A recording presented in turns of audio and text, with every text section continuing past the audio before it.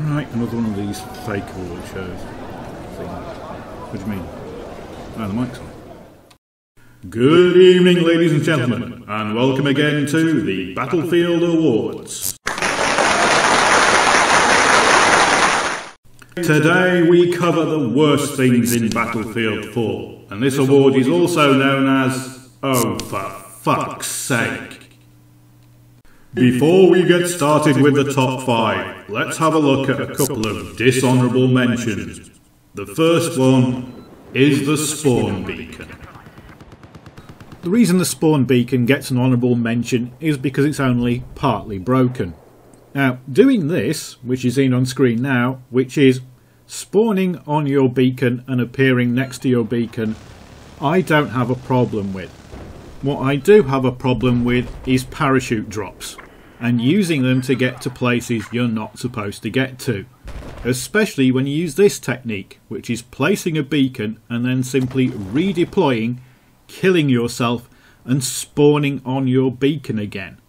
Now of course you can do this without the redeploy, but a lot of snipers use the redeploy method to get to their sniper perches.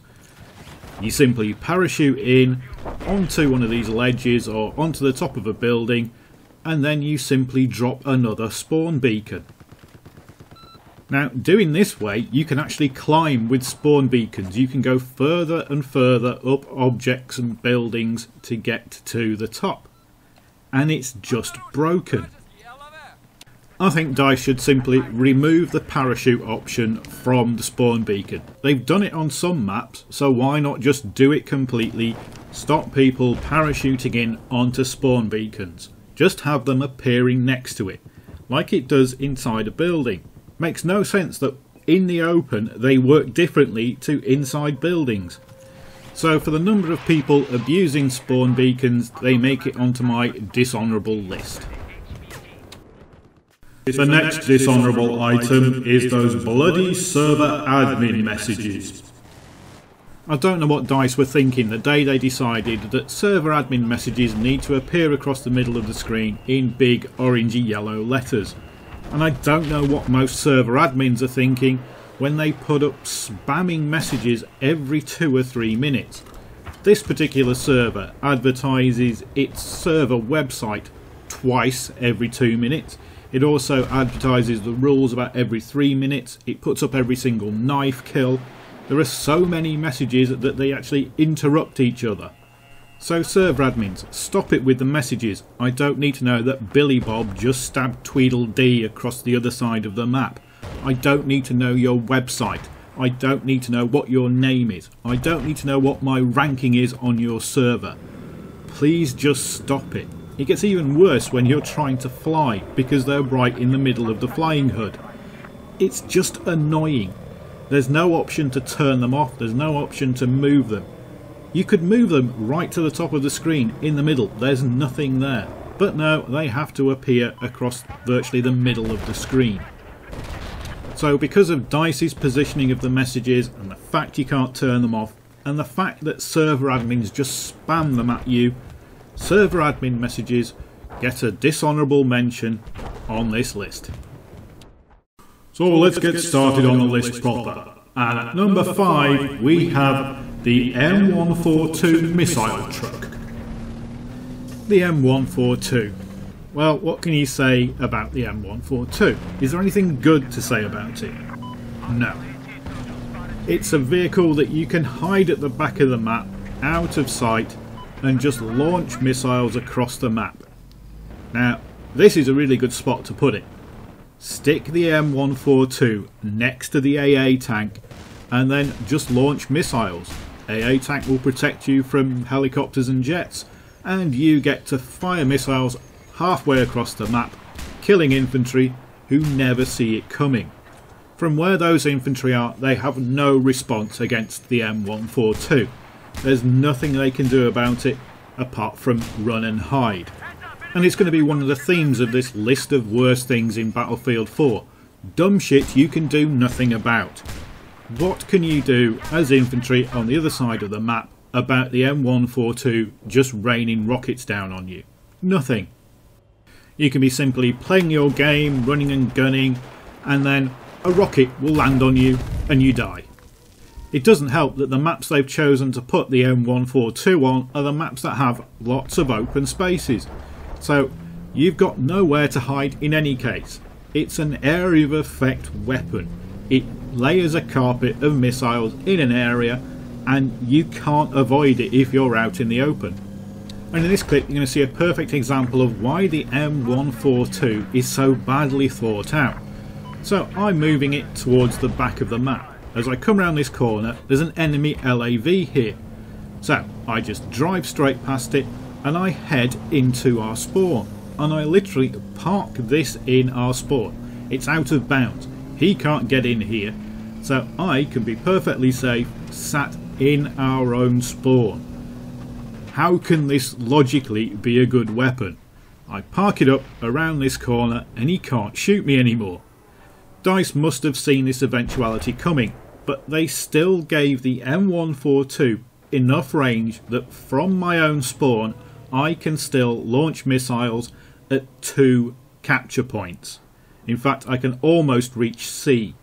The M142 can sit here quite happily the only threats it's ever going to face are maybe jets or helicopters if they're really brave. But back here, I can rain down death on these poor people who can't see it coming. They're on foot, they're in a firefight, capturing points, and I'm playing some kind of weird little computer game and killing them from miles away. Fortunately, it's not on that many maps, and that's why it only comes in on my list at number 5. So the M142 is the fifth worst thing in Battlefield 4. Coming in at number 4 we have the XM25 Airburst. The XM25. This is one of those weapons that must have sounded great when DICE were coming up with it. Hey guys, you know what we should put in the game? That intelligent grenade launcher, the XM25. Oh, right. So replace the grenade launcher with the new intelligent version. No, no, no. We're not going to give it to assaults. We're going to give it to support. We're going to give support a grenade launcher. Yes. Right. Are you sure that's a good idea? Yeah, yeah, it'll be fine. So we give support a slow firing, hard to use grenade launcher. No, no, it fires really quick and it's easy to use it either explodes on contact or you can set it up so it'll explode at a certain range. And if you use it really close in, you can just use it like an explosive round shotgun. Are you really sure this is a good idea? Yep, it'll be fine. What could possibly go wrong? What went wrong is that DICE ended up giving support yet another spam weapon. But unfortunately, it's a spam weapon that has multiple uses. It has almost no projectile drop. Therefore, you can snipe with it at long ranges. At close ranges, it works really well as an explosive round shotgun. Essentially, they took explosive round shotguns out of the game but gave support one. You don't even have to aim. Because it's explosives, you just put the crosshairs on them and pull the trigger. And then they gave it the ability to reload. So the support players can just drop an ammo bag and reload their XM25. Sure, it takes a while, but while they're doing that, it's not like they haven't got an LMG to spam with as well, or grenades that are reloading too. The XM25 would have been a good weapon if it had been given to the assault class instead of the standard grenade launcher. So the XM25 makes its number 4 on the list. At number 3 we have a joint entry for the M224 mortar and the UCAV. One of the reasons this is a joint entry is that DICE decided in their wisdom that you could have both on the same loadout. But the reason I've really put them together at number 3 is that these are typical things in Battlefield 4 that make you say, oh for fuck's sake. You get a bunch of supports spamming a map with mortars and UCAVs.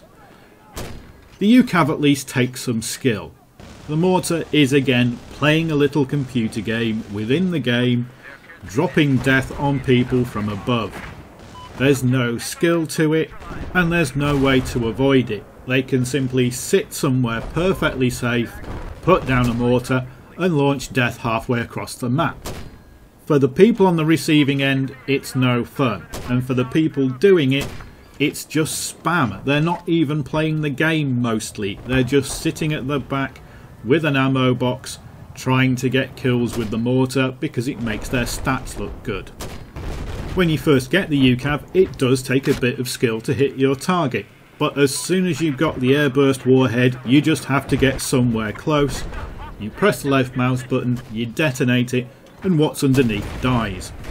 With the mortar, any trace of skill is removed. You just put the crosshairs over the little triangle, and if you've judged where they're moving right, they're dead.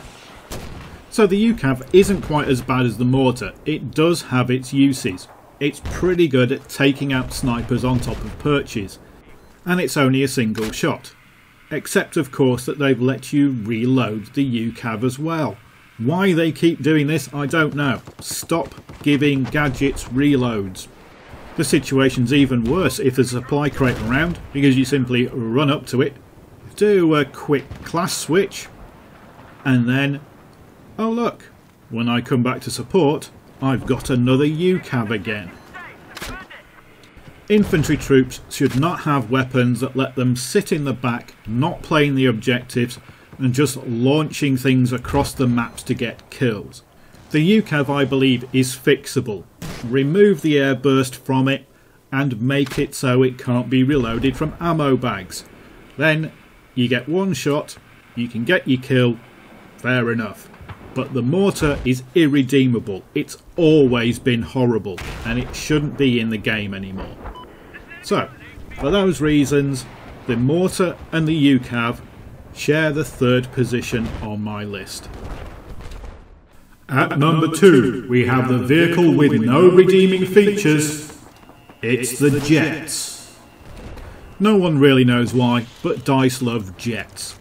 They've been a pain in the arse since they were put in the games originally, and they're still a pain in the arse. DICE have never been able to balance jets properly in the game.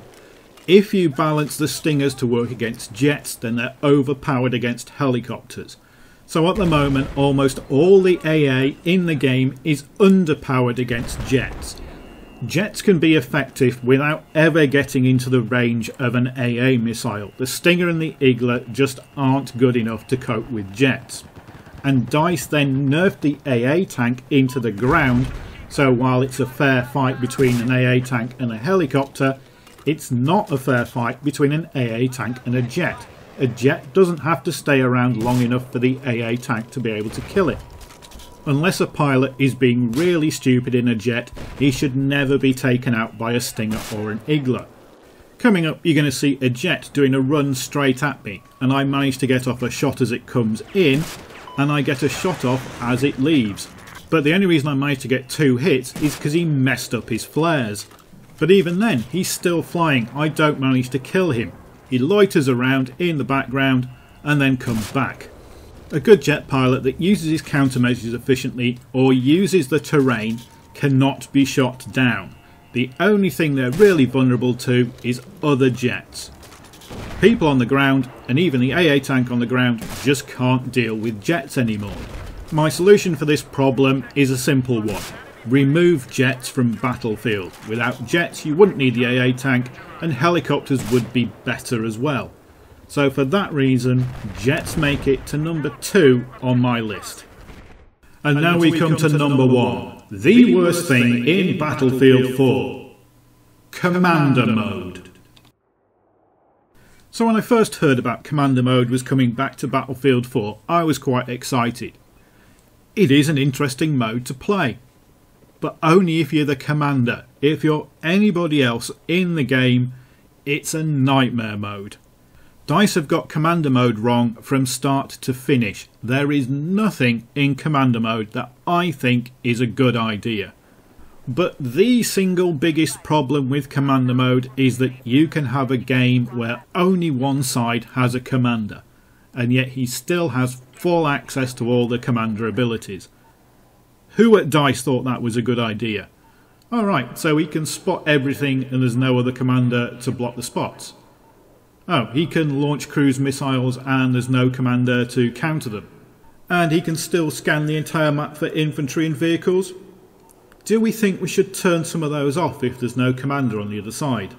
No? Oh, okay then. Now there are some things about Commander Mode I like. Being able to reward squads that are working towards objectives, being able to drop supplies, although I think the supplies should work as a glorified ammo bag rather than letting you switch class, that's a bit overpowered, and the little buggy drop is pointless. But my major problem with Commander is they're too active in the actual game. What I would like to see is Commander mode taken a step back. So rather than putting up a UAV and picking out everybody in that area, it would be better if they could say draw a box on the screen or a circle on the screen and say there are enemies here.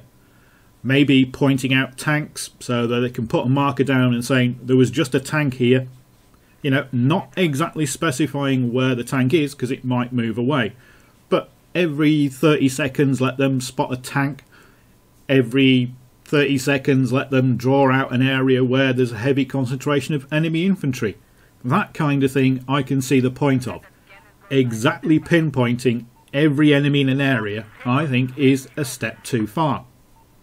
We can't talk about the commander without talking about their direct involvement in the game, and the gunship. The gunship is an overpowered beast. Another commander can ECM it and knock down some of its health. It can be attacked by jets. That's about it. It can no longer be effectively attacked from the ground, so it just flies around lobbing shells down on the infantry and vehicles below, who have got no effective way of fighting back at it. It's one of those really annoying, unavoidable deaths. There's nothing you can do about it. Somebody who's not even really playing the game is killing you by calling in a gunship. True, it has players in it, but without the commander, there wouldn't be a gunship. One thing I will never understand is putting the most powerful weapon in the game in the hands of somebody who can be playing on a tablet on the train. The cruise missile. It can just devastate an entire area, kill everything and every vehicle in it, and it's by somebody who's not even playing the game. Now it's obvious Commander Mode was just brought back so that DICE could say, hey look, we're all modern, we've got an app to go with our game. That's fine, but what they produced was something that is just too involved in the game and can swing the game completely. One side having a commander and the other side not is just overpowered. If they want to keep commander mode, they should simplify it and make it more justifiable and more in-game.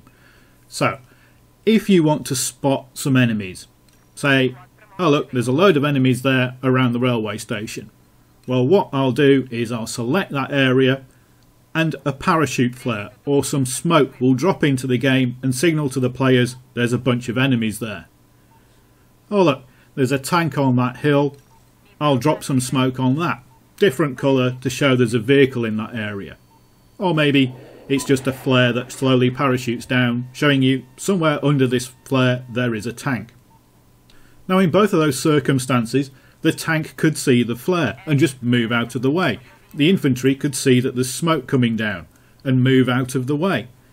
But at the moment, they have no option of dealing with a commander.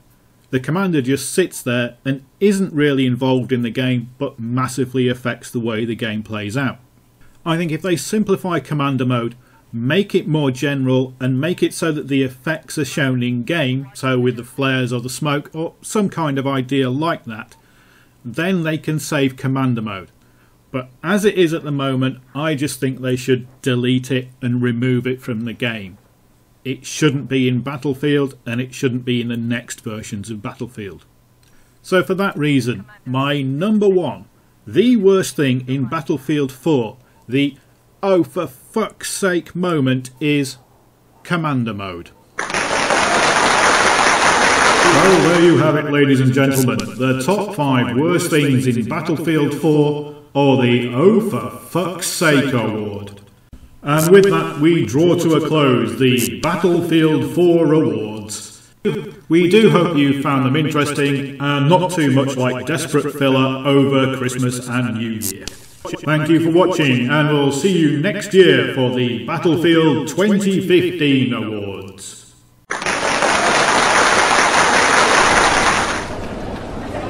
Right, let's get out of here before the pubs close.